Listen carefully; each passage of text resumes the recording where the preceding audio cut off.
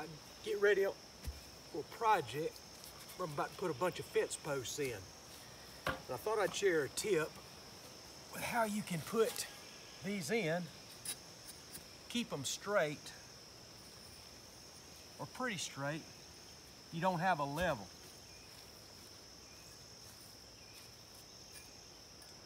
So we can say, well, that, that's in the ground. How do we know if it's straight? Well, we don't have a level.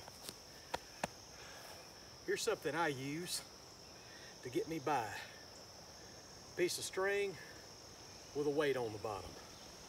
You could use a, another post held lightly in your fingers. And here's the trick. What we're gonna do is hold this up like so to see if it's straight.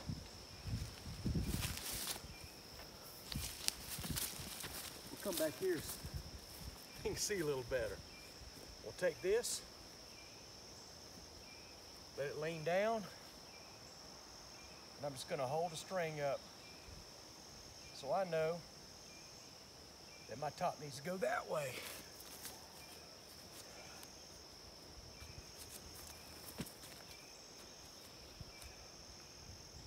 down.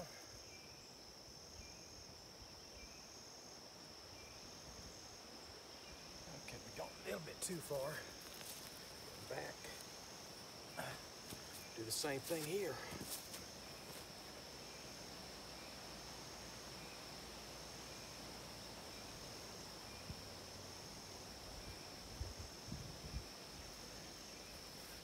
Once you get it where it's close, of course, you're gonna be tapping this in the whole time, and it's advisable to go ahead and get it set a little bit so it won't wiggle on you.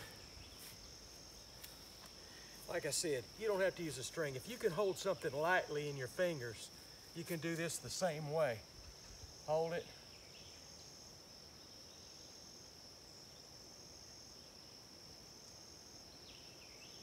just a little bit off that way.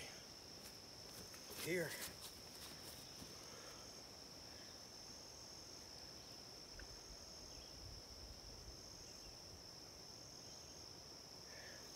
That's pretty straight up and down. That's the way I'll check it. I'll use a level.